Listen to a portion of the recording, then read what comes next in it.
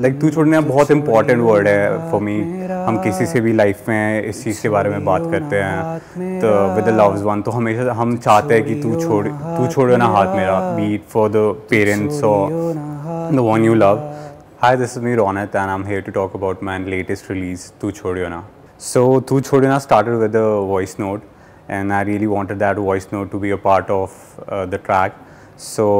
like I was listening to a lot of songs और मैं सोच रहा था इसको कैसे वॉइस नोट को यूज़ कर सकते हैं हम गाने के अंदर। तो then I created this melody on piano the main hook to छोड़ियो ना, हाथ which you will hear most of the time in the song तो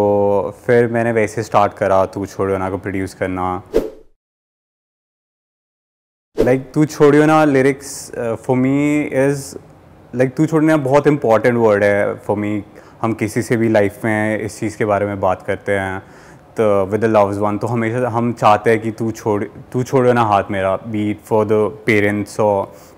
द वन यू लव तो तू छोड़ो ना। आई पर्सनली फील एक बहुत ज़्यादा स्ट्रॉन्ग हुक था तो मैं चाहता था वो जितना ज़्यादा सॉन्ग में रख सकता हूँ तो आई ट्राइड फॉर इट तो वैसे तू छोड़ो ना स्टार्ट हुआ बैक इन 2000 2021 तो it's been a long time उस ट्रैक पे काम करते करते and finally it's out and I am really happy to see कैसे लोग उस पर इतना ज़्यादा कनेक्ट कर रहे हैं और इतने प्यारे प्यारे रील्स बना रहे हैं. तो I am really happy about it so I wanted this track to be more of a lo fi thing तो this was my vision for it जो मैं स्टार्टिंग से ही गाने को लेकर रख रहा था. तो फिर मैंने जब प्रोडक्शन इसका स्टार्ट करा, मैं नहीं चाहता था इसका बहुत ज़्यादा हैवी प्रोडक्शन हो because I believe in less is more for the production thing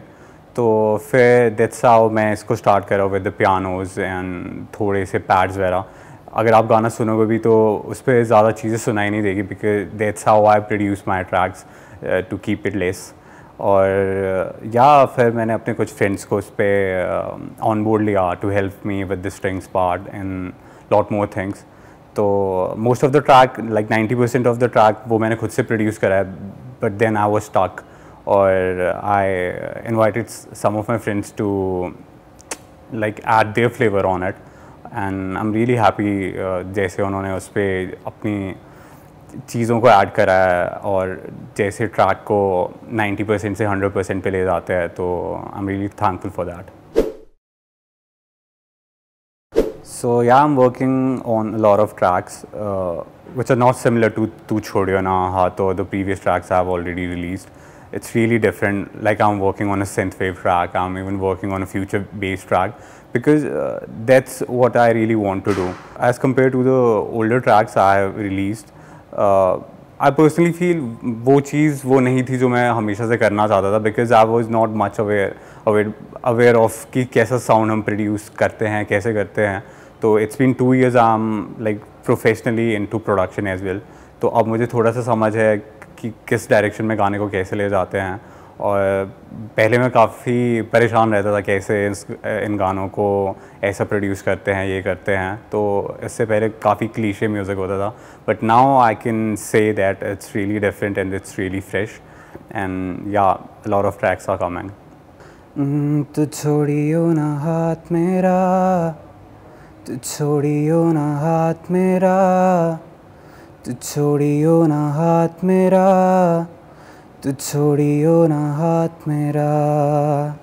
अगर तेन छड़ना हो करी कहियो ना कहियो ना कहियो ना, तू छोड़ियो ना।